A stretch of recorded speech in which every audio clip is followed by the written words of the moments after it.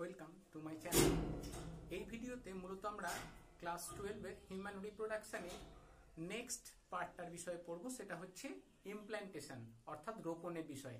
Already আমরা আগের ভিডিওতে পড়েছি যে কীভাবে জাইগোট থেকে মরুলা এবং দেন সেই মরুলা থেকে ব্লাস্টুলা তৈরি হয়। সেই দুটো প্রসেসের কথা আমরা পূর্বের ভিডিওতে পড়েছি মরুলেশন এবং ব্লাস্টুলেশন এখন আমরা পড়ব ইমপ্ল্যান্টেশন বা যেটাকে বলা হবে ভ্রূণের রোপণ। তা সেই সেই ভ্রূণের রোপণ বা ইমপ্ল্যান্টেশনের বিষয়ে আগে জেনে রাখতে হবে যে ইমপ্ল্যান্টেশন কাকে বলে। তাহলে আমরা বলব যে অ্যাটাচমেন্ট অফ এমব্রিও সেটা আবার কোন স্টেজে থাকছে না ব্লাস্টুলা বা ব্লাস্টোসিস্ট বলতে পারি। ব্লাস্টুলা বা blastocyst attachment of embryo in the endometrium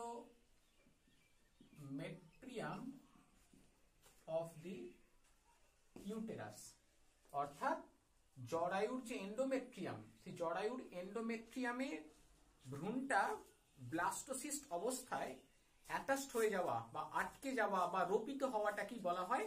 ভ্রূণের রোপণ। এই হয়ে গেল কমপ্লিট ডেফিনেশন এবার যদি আমরা একটা পিরিয়ডটা দেখি টাইম পিরিয়ড কখন এই ইমপ্ল্যান্টেশন হয়, তাহলে এটা কিন্তু ভ্যারি করে, এটা six to tenth day after fertilization অর্থাৎ নিষেক সম্পন্ন হওয়ার পর থেকে ছয় থেকে দশতম দিনের মধ্যে। অর্থাৎ নিষেক সম্পন্ন হয়েছে, তারপর একদিন, দুদিন তিন দিন চার দিন পাঁচ দিন হয়ে ছয় দিন বা সেটা দশ দিনের মধ্যে হতে পারে। ছয় থেকে দশ দিনের মধ্যে হতে পারে। যদিও একদম যেটা কমনলি দেখা যায় এক্স্যাক্ট যদি আমাকে একটা দিনের কথা বলতে হয়, তাহলে যেটা বেশিরভাগ ক্ষেত্রে দেখা যায়, সেটা সেভেন্থ ডে আফটার ফার্টিলাইজেশন অর্থাৎ নিষেক সম্পন্ন হওয়ার সাত দিন পরে কিন্তু কি হয়, না জরায়ুর যে গাত্র, যেটাকে আমরা এন্ডোমেট্রিয়াম বলেছি, সেই এন্ডোমেট্রিয়ামে এমব্রিওটা ব্লাস্টোসিস্ট অবস্থায় কিন্তু অ্যাটাচড হয়ে যায়। সেই টোটাল প্রক্রিয়াটাকে আমরা বলছি ইমপ্ল্যান্টেশন বা রোপণ।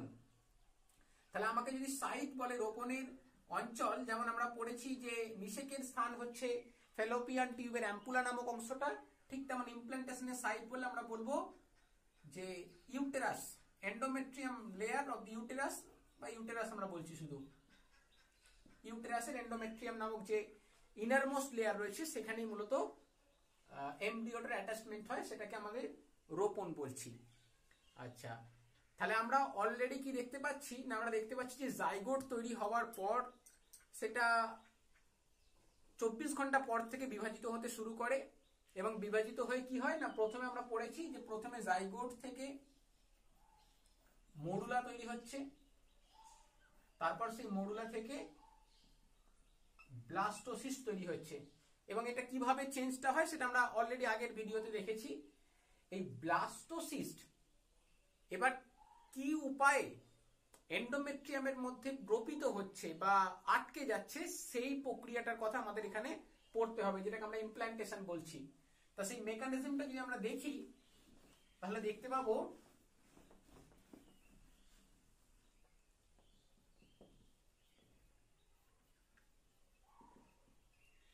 ইমপ্ল্যান্টেশনের মেকানিজমে যেটা হয়, সেটা হচ্ছে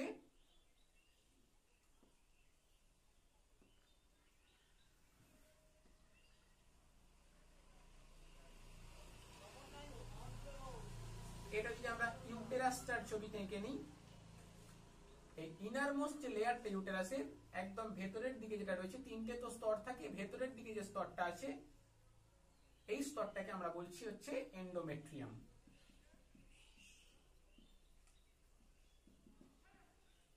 ইনারমোস্ট লেয়ার এবং এই ইনারমোস্ট লেয়ারের কন্ট্যাক্টে আসার পরই কিন্তু মডুলাটা ইউট্রাইন মিল্ক শোষণ করে নিয়ে রূপান্তরিত হয়েছে ব্লাস্টুলাতে সেটা আমরা দেখেছি অলরেডি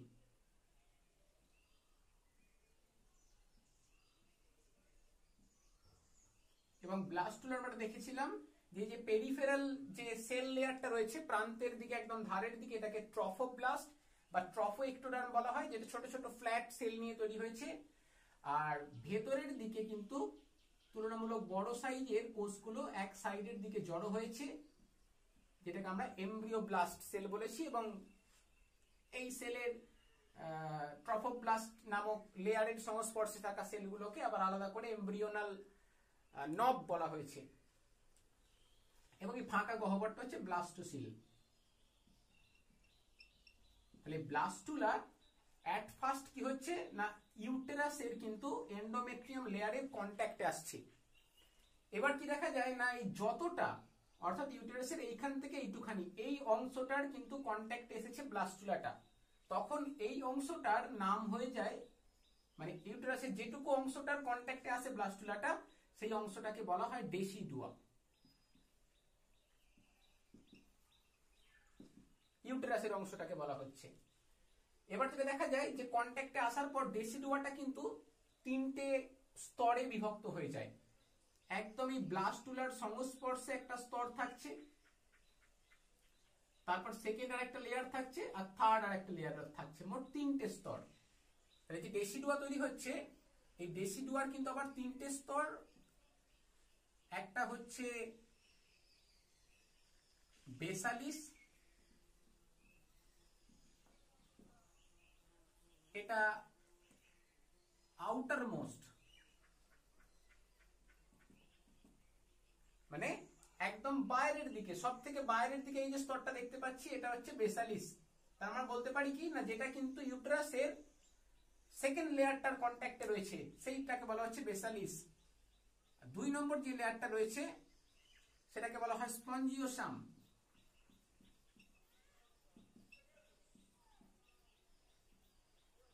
এটা হচ্ছে মিডিল মিডিল লেয়ার মানে মাঝখানে যে স্তরটা রয়েছে। আর ইউটেরাসের যে স্তরটা ব্লাস্টোসিলের সরি ব্লাস্টোসিস্টের কন্ট্যাক্টে রয়েছে, এই টোটালটা তো ব্লাস্টোসিস্ট ব্লাস্টোসিস্টের কন্ট্যাক্টে যেটা আছে, সেটাকে বলা হয়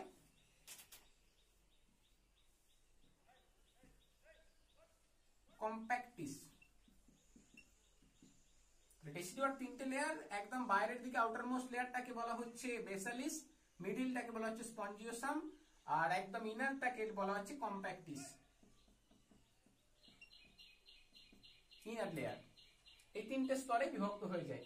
এবং আরও একটা পরিবর্তন যেটা দেখা যায়, সেটা হচ্ছে যখনই ডেসিডুয়াটা এই তিনটে স্তরে বিভক্ত হয়ে গেল তারপর কি হয়? না, তারপর এই ব্লাস্টোসিস্টের যে ট্রফোব্লাস্ট নামক লেয়ারটা রয়েছে মানে ব্লাস্টোসিস্টের আউটার মোস্ট লেয়ারটা রয়েছে ফ্ল্যাট স্মল যে সেল দিয়ে দিয়ে তৈরি হয়েছে, এই লেয়ারের কোষগুলো কিন্তু দুটো স্তরে বিভক্ত হয়।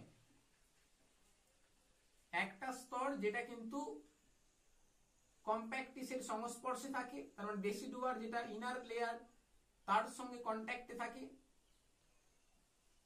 আর একটা হচ্ছে ভেতরের দিকে থাকে। এই যে বাইরের দিকে যে স্তরটা তৈরি হয়েছে, তাহলে ট্রফোব্লাস্ট বা ট্রফো ট্রফোএক্টোডার্মটা কি করছে? না যেটুকুটা ডেসিডুয়ার সংস্পর্শে আসে সেই জায়গাটা কিন্তু দুটো স্তরে বিভক্ত হচ্ছে। একটাই দেখতে পাচ্ছি ভেতরের স্তর আর একটা দেখতে পাচ্ছি দুটো স্তর, একটা ভেতরের আর একটা বাইরের। এই বাইরের দিকে যে স্তরটা রয়েছে, সেটাকে বলা হয় সেটাকে বলা হচ্ছে সিনসাইটো সিনসাইটো ট্রফোপ্লাস্ট আর ভেতরের দিকে যেটা রয়েছে, এই ভেতরের দিকে লেয়ারটাকে বলা হয়েছে সাইটো সাইটোট্রফোপ্লাস্ট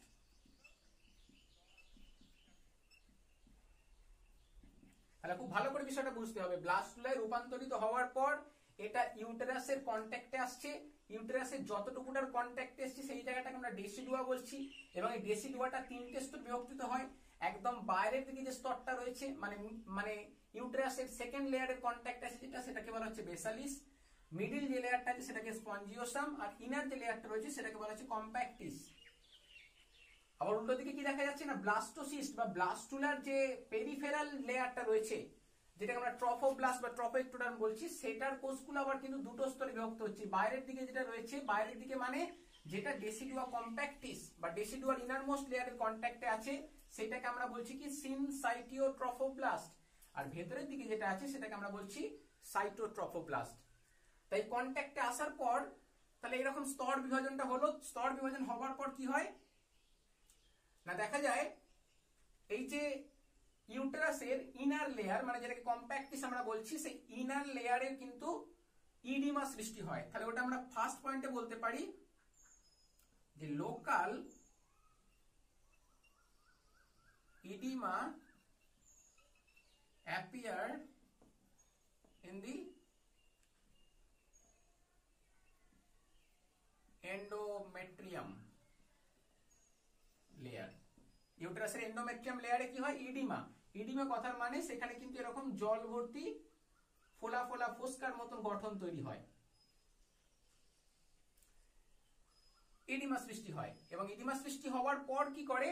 ইডিমা সৃষ্টি হওয়ার পর এই যে ট্রফোপ্লাস্ট লেয়ারের আউটার লেয়ার যেটা, বাইরের দিকে যে স্তরটা আছে, যেটাকে বলা হচ্ছে সিনসাইটিও ট্রফোপ্লাস্ট এই সিনসাইটিও ট্রফোপ্লাস্ট কিন্তু এই ডেসিডুয়াল সেলগুলোর উপর physical as well as chemical দুই প্রকারের কিন্তু বিক্রিয়া ঘটায় বা সম্পন্ন করে বলা যেতে পারে, যেটাকে আমরা বলতে পারি ডিসিআর এই ডিসিআর অ্যাকচুয়ালি হচ্ছে, সেটা বোঝার ফার্স্ট সাইন কিন্তু ইডিমা।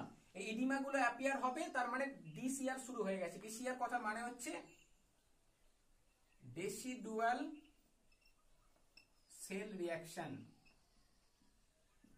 অর্থাৎ কি হয়? না ট্রফোব্লাস্টের আউটার মোস্ট লেয়ার যেটা, যেটাকে আমরা সিনসাইটিও ট্রফোব্লাস্ট বলছি, সেখান থেকে। সেটা বেশ কিছু এনজাইম ক্ষরণ করে, উৎসেচক ক্ষরণ করে, তার সাথে সাথে ও কিন্তু নিজেও পেনিট্রেট করে। পেনিট্রেট করে কিন্তু এই ডেসিডুয়াল সেলগুলোর সঙ্গে একটা বিক্রিয়ায় অংশ নেয় এবং যেটা দেখা যায়, বিক্রিয়াটা করার সাথে সাথে কি হয়? দুই নম্বরে বিক্রিয়াটা হওয়ার সাথে সাথে দেখা যায় যে blood vessel and fibroblast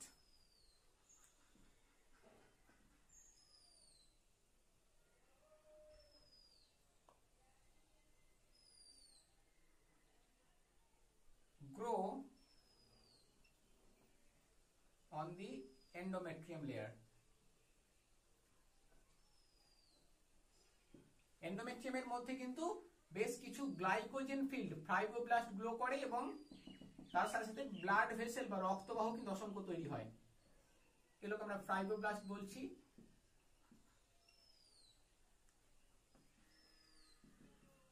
যেগুলো গ্লাইকোজেন পূর্ণ থাকে। এছাড়া ব্লাড ভেসেল বা রক্তবাহ থাকে। সেগুলোর পরিমাণ কিন্তু আরও বাড়তে থাকে। এডেসিডুয়াল সেল রিয়াকশনটা হওয়ার সাথে সাথে। এবং যেটা দেখা যায় যেটা, সেটা হচ্ছে তিন নম্বর আমরা বলতে পারি chorionic villi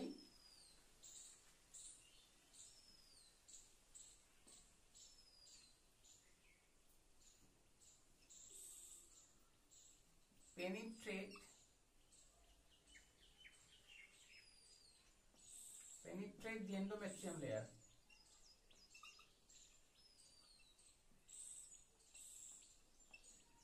সেটা হচ্ছে সিনসাইটিও ট্রফোপ্লাস্ট সেলগুলো থেকে কি হয়? না, বেশ কিছু রকম আগুলের ন্যায় প্রবর্ধক সৃষ্টি হয়। এবং সেগুলো কিন্তু ডেসিডুয়ার মধ্যে পেনিট্রেট করে মানে ঠেলে কিন্তু ঢুকতে শুরু করে। এই যে আগুলের মতন প্রবর্ধকগুলো দেখতে পাচ্ছি, এগুলোকে বলা হয় কোরিওনিক ভিলাই এই কোরিওনিক ভিলাই গুলো কোথা থেকে সৃষ্টি হয়েছে না, এই সিনসাইটিও ট্রফোব্লাস্ট নামক ট্রফো একটোডার্মের যে আউটার মোস্ট লেয়ার ছিল, সেই সেলগুলোই বেশ কিছু কেমিক্যালস তৈরি করে ডেসিডুয়ার স্পঞ্জিওসাম আর ক্যাম্প্যাক্টিস এই দুটো লেয়ারকে কিন্তু নষ্ট করে দেয়। বেশ কিছু উৎসেচক ক্ষরণ করে। তাহলে এই দুটো লেয়ার নষ্ট হয়ে যাওয়া মানে তখন কিন্তু এই ফিঙ্গার লাইট যে প্রজেকশনগুলো তৈরি হলো, ওই সিনসাইটোট্রোফোব্লাস্ট থেকেই। সেই ফিঙ্গার লাইট প্রজেকশনগুলো সহজে কিন্তু ইউট্রাসের মধ্যে প্রবেশ করতে পারে। এবং প্রবেশ করার পর অ্যাট লাস্ট কি হয় না, প্রবেশ করার পর দেখা যায় যে যে ইউটেরাসের যে মানে ইনার মোস্ট এন্ডোমেট্রিয়াম লেয়ার তার উপরের দিকে যে আবরণী কলা আছে, সেইটার দ্বারা কিন্তু এই গোটা এমব্রিওটা কভার হয়ে যায়, আবৃত হয়ে যায় আবরণী কলার কোষ দ্বারা, এখানে রক্তবাহ বিভিন্ন প্রকার তৈরি হয়। এই যে আবরণীটা তৈরি হলো এটা কিন্তু ইউটেরাস বা জরায়ুর যে বহির আবরক, সেটাই কিন্তু আলটিমেটলি দেখা যাচ্ছে কি? না, এই যে কোরিয়নিক ভিলাই দ্বারা যখন এমব্রিওটা পেনিট্রেট করে আস্তে আস্তে ইউটেরাসের ভেতর ঢুকে যাচ্ছে, তখন সেই ইউটেরাসের লেয়ারটা দ্বারা গোটা ভ্রূণটা কিন্তু আবৃত হয়ে যাচ্ছে।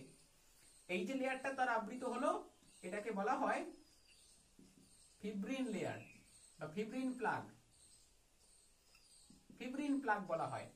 এই ফিব্রিন প্লাগ দ্বারা গোটা এমব্রিওটা আবৃত হয় এবং কিন্তু ইমপ্ল্যান্টেশন প্রক্রিয়াটা পুরোপুরি কমপ্লিট হয় এবং কমপ্লিট হতে মোটামুটি ওই সপ্তমতম দিনে ইমপ্ল্যান্টেশন হলেও ইমপ্ল্যান্টেশন পুরোপুরি একদম কমপ্লিটলি হতে কিন্তু ওই দশমতম দিন পর্যন্ত সময় লাগে টেন্থ ডে পর্যন্ত। এইভাবেই কিন্তু ইমপ্ল্যান্টেশন বা রোপণ প্রক্রিয়া সম্পন্ন হয় জরায়ুর গাত্রে। আমাদের এখানে আরেকটা বিষয় জেনে রাখতে হবে, আমরা জরায়ুর এই যে পার্টটা করেছি, এটাকে বলা হচ্ছে বডি বডি উপরেরটাকে বলা হয় ফান্ডিক বা ফান্ডাস তা আরেকটা পার্ট আছে তলার দিকে, যেটাকে বলা হয় সার্ভিক্স জেনারেলি সাধারণত কি হয় না ইউট্রাস বা জরায়ুর বডি এবং ফান্ডিক এই দুটো অঞ্চলে মূলত রোপণ প্রক্রিয়াটা সম্পন্ন হয় সাধারণত। সেটা কিন্তু নর্মাল ইমপ্ল্যান্টেশন আমরা বলব। যদি এই দুটো বাদে অর্থাৎ এই বডি এবং ফান্ডিক বাদে এই সার্ভিক্স রিজিয়ানে সার্ভিক্স রিজিয়ানে যদি রোপণ প্রক্রিয়াটা সম্পন্ন হয় এই জায়গাটাতে, তখন সেই রোপণটাকে বলা হয় কিন্তু ইন্ট্রা ইউটেরাইন ইমপ্ল্যান্টেশন এটা খুব ভালো করে খেয়াল করতে হবে। ইন্ট্রা ইউটেরাইন ইমপ্ল্যান্টেশন কাকে বলে? না ইউটেরাসেরই ফান্ডিক বা বডি রিজিয়ানে ইমপ্ল্যান্টেশন না হয়ে যদি সার্ভিক্স রিজিয়ানে হয়, তখন সেটাকে ইন্ট্রা ইউটেরাইন ইমপ্ল্যান্টেশন বলা হয়। আর একটা বিষয়, যদি এই ইউটেরাস পুরো ইউটেরাসে না হয়ে ফ্যালোপিয়ান টিউবে হচ্ছে দেখা যাচ্ছে। ফ্যালোপিয়ান টিউব বা ওভারিতে হচ্ছে। কোন একটা জায়গায় ফ্যালোপিয়ান টিউব এই জায়গায় বা ওভারির মধ্যে হয়তো ইমপ্ল্যান্টেশন হয়ে গেছে। যেগুলো কিন্তু সাধারণত হয় না অ্যাবনর্মাল কন্ডিশন বলা হচ্ছে। তখন এই রোপণগুলোকে বলা হয় একটোপিক রোপণ। একটোপিক ইমপ্ল্যান্টেশন এই দুটো খেয়াল রাখা দরকার আছে। একটোপিক ইমপ্ল্যান্টেশন কি? না যখন এমব্রিওটার অ্যাটাচমেন্টটা ইউটেরাসের এন্ডোমেট্রিয়ামে না হয়ে সেটা ফেলোপিয়ান টিউব বা ওভারির মধ্যে হচ্ছে, তখন সেটাকে একটোপিক ইমপ্ল্যান্টেশন আর ইন্টা ইউটেরাইন ইমপ্ল্যান্টেশন যখন ইউটেরাসেরই সার্ভিক্স রিজিয়নে বা যেটাকে জরায়ুর কণ্ঠ বলা হয়, সেই কণ্ঠতে যখন ইমপ্ল্যান্টেশন হচ্ছে, সেটাকে বলা হচ্ছে ইন্ট্রা ইউটেরাইন ইমপ্ল্যান্টেশন দুটোই সাধারণত হয় না অ্যাবনর্মাল কন্ডিশনের ক্ষেত্রে বলা হচ্ছে। সাধারণত ইউটেরাসের বডি অথবা ফান্ডিক রিজিয়ানে মূলত ইমপ্ল্যান্টেশন সম্পন্ন হয়। তাহলে দেখতে পেলাম কি, না জাইগোট তৈরি হওয়ার পর সেটা পাঁচ নম্বর দিনে ফার্টিলাইজেশনের পর পঞ্চম দিনে সেটা মোরলাতে রূপান্তরিত হচ্ছে, তারপর ষষ্ঠ দিনে সেটা ব্লাস্টুলাতে দেন ব্লাস্টুলা ইউটেরাসের কন্ট্যাক্টে আসছে, আসার পর ব্লাস্টুলার যে ট্রফোব্লাস্ট লেয়ার সেটা দুটো স্তরে বিভক্ত হচ্ছে এবং ইউটেরাসের যে অংশটায় ব্লাস্টুলারটা সংস্পর্শে হচ্ছে, সেটাকে ডেসিডুয়া সেটা আবার তিনটে স্তরে বিভক্ত হচ্ছে ব্যাসালিস স্পঞ্জিওসাম কম্প্যাক্টিস তারপর কি করছে না ট্রফোব্লাস্ট লেয়ারের বাইরের দিকে যে স্তরটা তৈরি হয়েছে, যেটাকে আমরা সিনসাইটিও ট্রফোব্লাস্ট বলছি, সেটা বেশ কিছু উৎসেচক ক্ষরণ করে ডেসিডুয়ার যে দুটো লেয়ার বেসালিসটা বাদে বাকি দুটো লেয়ার স্পঞ্জিওসাম কম্প্যাক্টি সেই দুটোকে নষ্ট করছে এবং ওই সিনসাইটোব্লাস্ট থেকে ফিঙ্গার লাইক প্রজেকশন বেরিয়ে কি হচ্ছে না, গোটা এমব্রিওটা কিন্তু ইউটেরাসের মধ্যে পেনিট্রেট করে ঢুকে যাচ্ছে।